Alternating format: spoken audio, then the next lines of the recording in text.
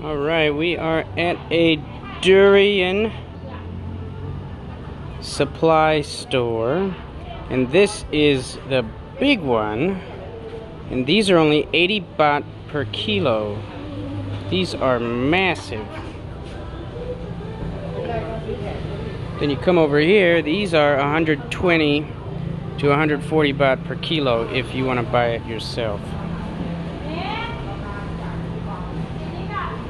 And they just get so much durian right now. And most of it goes to China. But if you want to get some for yourself, this is where you come. Mm.